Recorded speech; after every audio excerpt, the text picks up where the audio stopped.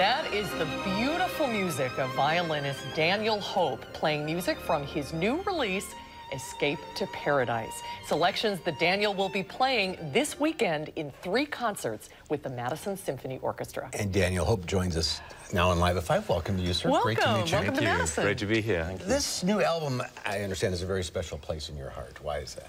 It tells the story of the Hollywood sound, where that came from. Mostly composers who escaped the Nazis came to Los Angeles from 1933 and helped to shape this amazing sound that Hollywood embraced. Um, it was the time of great change, great political upheaval, and yet beautiful, beautiful music. Some of the most famous movies like King Kong or Ben-Hur were penned by some of these composers. So this album tells their story. You started playing at a young age. What, four? Four years old, yes. How?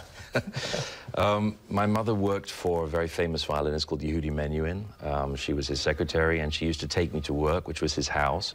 And I grew up hearing him and other musicians. And when I was four, I announced to my parents, I want to be a violinist. Really? Yeah. Um, they're not musical themselves, but um, they encouraged me. And of course, I was incredibly lucky to have this environment of music around me all the time, and I, there was just no looking back after that.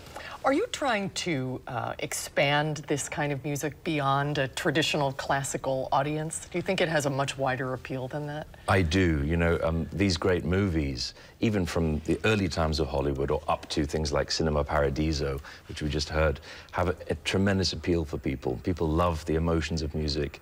Um, going to the movies is like, it's escapism in this sense. So classical music for me is about sharing and communication, and this is a wonderful way to do both. And one of the pieces you're playing this weekend, you first heard when you were six, I understand.